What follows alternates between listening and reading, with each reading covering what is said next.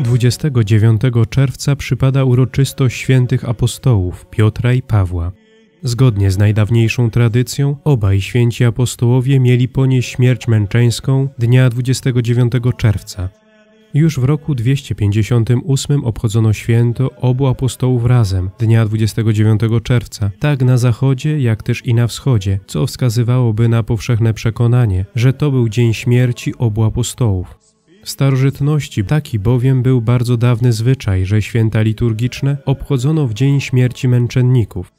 Inna ze współczesnych teorii głosi, że 29 czerwca miało miejsce przeniesienie relikwii obu apostołów do katakumb Kaliksta podczas prześladowania za cesarza Waleriana w celu schowania ich i uchronienia przed zniszczeniem. Kościół umieszcza w jednym dniu uroczystość świętego Pawła wraz ze świętym Piotrem nie dlatego, że równa go w prymacie z pierwszym zastępcą Chrystusa. Chodzi jednak o podkreślenie, że obaj apostołowie byli współzałożycielami gminy chrześcijańskiej w Rzymie.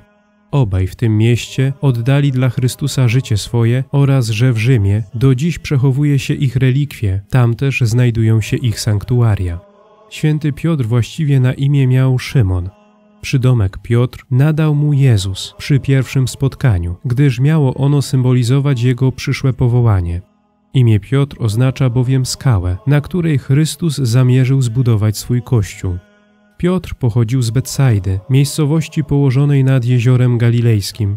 Był bratem świętego Andrzeja apostoła, który Szymona przyprowadził do Pana Jezusa niedługo po chrzcie w rzece Jordan, jaki Chrystus Pan otrzymał z rąk Jana Chrzciciela. To, że Chrystus Pan zetknął się z Andrzejem i Szymonem w pobliżu rzeki Jordan, wskazywałoby, że obaj bracia byli uczniami świętego Jana.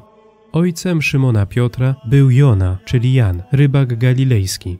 Kiedy Chrystus Pan włączył Piotra do grona swoich uczniów, ten nie od razu poszedł za Jezusem, ale nadal trudnił się pracą rybaka. Dopiero po cudownym połowie ryb definitywnie zostawił dotychczasowe zajęcie i poszedł za Chrystusem w charakterze jego ucznia wraz ze swoim bratem Andrzejem.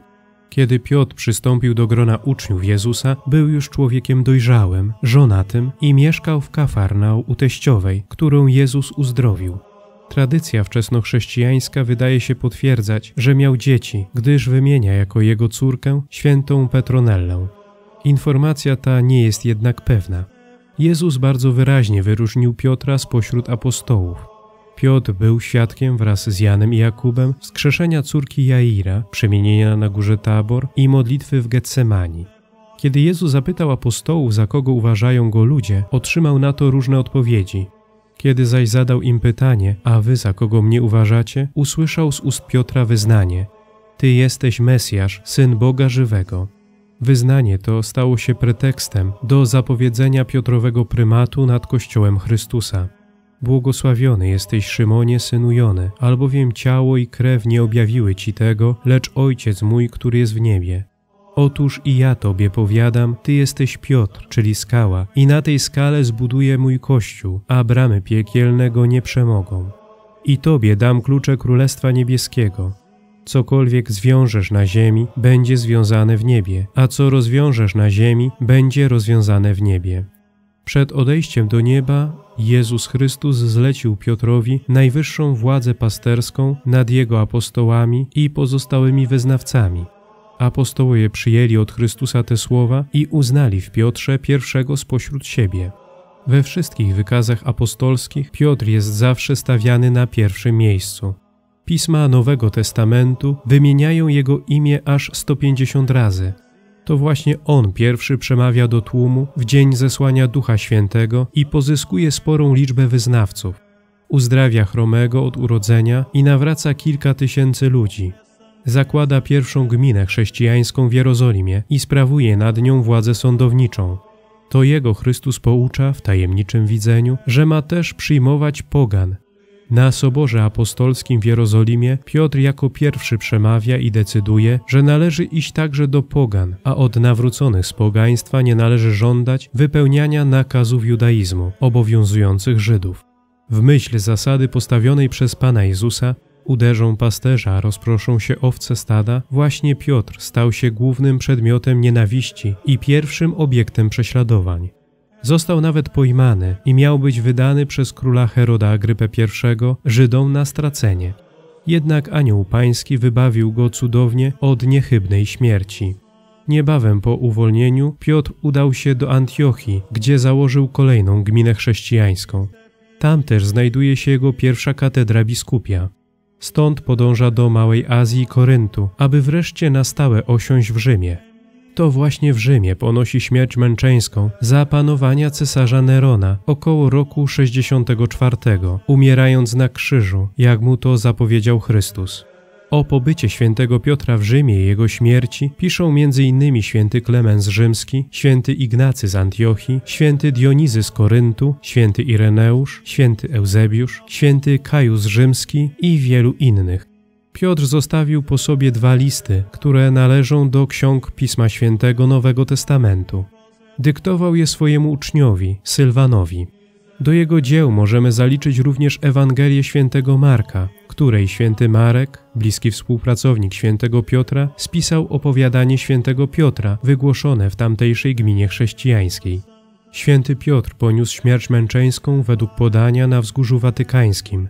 Miał być ukrzyżowany według świadectwa Orygenesa głową na dół na własną prośbę, gdyż czuł się niegodny umrzeć na krzyżu jak Chrystus.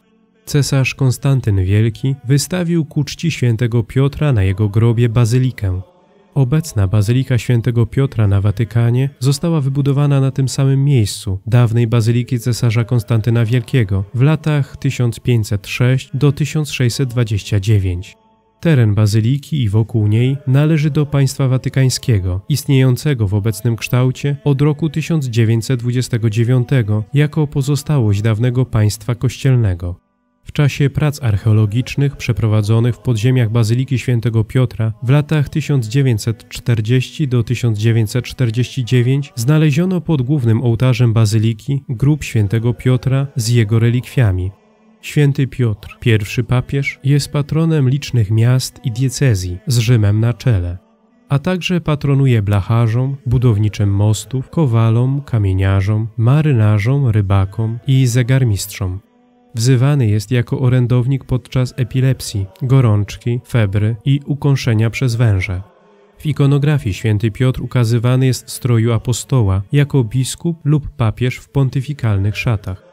Atrybutami księcia apostołów są anioł, kajdany, dwa klucze symbolizujące Królestwo Boże, kogut, odwrócony krzyż, symbol jego męczeńskiej śmierci, księga, łódź, zwój, pastorał, ryba, sieć, tiara w ręku oraz skała, stanowiąca aluzję do jego imienia. Módlmy się. Panie nasz Boże, Ty przez świętych apostołów Piotra i Pawła dałeś swojemu Kościołowi podstawy chrześcijańskiej wiary. Za ich wstawiennictwem udziel nam pomocy i doprowadź nas do wiecznego zbawienia. Przez naszego Pana Jezusa Chrystusa, Twojego Syna, który z Tobą żyje i króluje w jedności Ducha Świętego, Bóg przez wszystkie wieki wieków.